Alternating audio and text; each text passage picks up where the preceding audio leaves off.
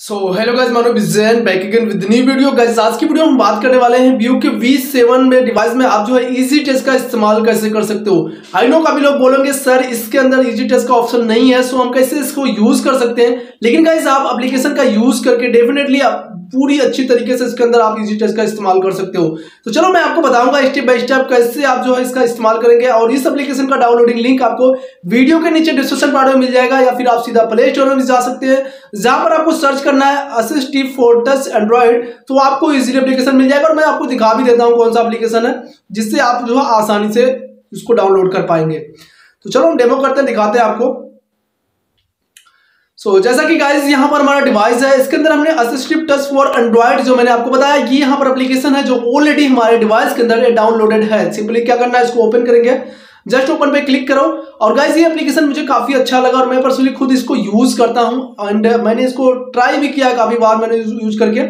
और ये पूरी प्रॉपर तरीके से वर्क करता है। जैसे आप फ़र्स्ट बार ओपन करोगे तो आपको ये पहले ही आइकन दे देगा इजी टच वाला, जो आपको ऑफिशियली देखने को मिलता है। यहाँ पर कुछ टिप्स वगैरह है, इसको आपको रीड करना है। तो आई रीड करने के बाद आई नो पे क्लिक कर देना। तो चलो ठीक है, हमने कर दिया। अब यहाँ पर एक आइकन आ रहा है। आई थिंक आपको अच्छे से दिख रहा होगा। आइकन जो आ रहा है, हम इस पर क्लिक करेंगे। तो कुछ इसके अंदर परमिशन हमें देनी होगी।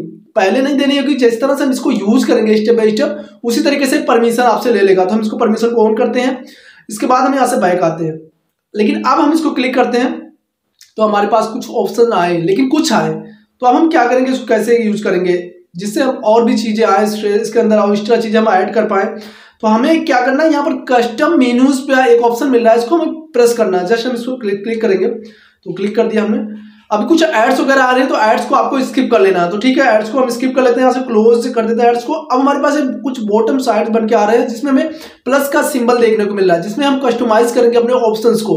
जस्ट किसी प्लस आइकन पर क्लिक करें, और यहाँ पर हमारे पास जो रेंडमली इतने सारे ऑप्शन आ रहे हैं, हम इनका यूज़ कर सकते हैं। इसके अलावा और कोई चीज़ इसके अंदर नहीं ऐड कर सकते। फॉर एग्ज़ाम्पल अगर हम चाहे होम बटन ऐड कर सकते हैं back button screen notification location या फिर एरोप्लेन वगैरह का हम इस्तेमाल इसके अंदर कर सकते हैं।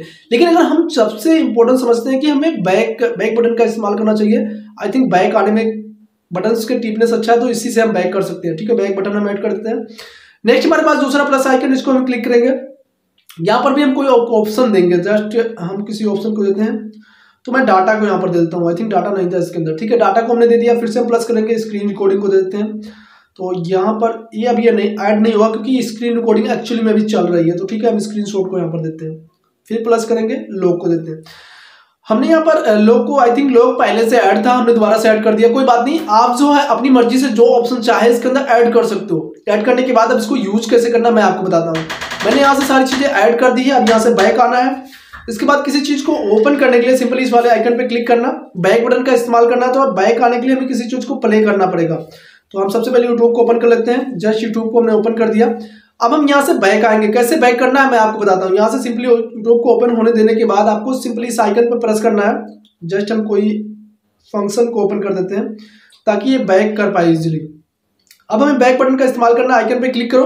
बैक बटन को जैसे आप प्रेस करोगे तो ये एक परमिशन और मांगेगा जो आपको देना है। तो यहाँ पर आपको असिस्टिव टच का यहाँ पर ऑप्शन ऑफ़ है तो हम इसको ऑन करेंगे देन ओके इसके बाद ये प्रॉपर तरीके से वर्क करेगा। सिंपली इस पर क्लिक करना है। तो जस्ट हम यहीं पर क्लिक कर देते हैं। क्लिक करने के बाद आपको बैक बटन प्रेस करना है। अभी देख सकते हो प्रॉपर तरीके से हमारा पेज जो है वो बैक आ चुका है। तो इसी तरीके से आप जो अपने फ़ोन के अंदर सेटिंग्स करेंगे और इसके अंदर कुछ और सेटिंग्स है, मैं आपको बता देता हूँ क्या क्या चीज़ें आपको करनी है इसके अंदर और भी। सेटिंग्स का ऑप्शन मिलता है सिंपली सेटिंग पर क्लिक करेंगे। तो हम इस एड्स को पहले क्लोज करते हैं तब। सेटिंग्स पे क्लिक करते हैं, इसके अंदर आपको फिर से दोबारा एड्स आ रही है। एड्स काफ़ी ज़्यादा आती है तो एड्स को आप स्किप कर लेना, क्योंकि ये जो अप्लीकेशन होते हैं एड्स वगैरह से ही पैसे कमाते हैं। तो यहाँ पर आ जाने के बाद आपको सिंगल टैप मेनू मिल रहा है। आई थिंक काफ़ी सारी चीज़ें मिल रही है, आप यहाँ से उसे कर सकते हो। डबल टैप का ऑप्शन मिल रहा है लॉन्ग प्रेस का। तो आपको इस सभी सेटिंग्स को नहीं छेड़नी है। आपको सिंपली जो सेटिंग्स हमने बताया सिंपली वही चीज़ें फॉलो कर फॉलो कर लेना और इजिली आप अपने फ़ोन के अंदर कर पाएँगे। सो बस गाइज़ यही थी वीडियो आज की। होपफुली आपको समझ में आएगा कैसे करना फिर भी कोई कंफ्यूजिंग हो तो नीचे कमेंट सेक्शन आप हमें कमेंट करके पूछ सकते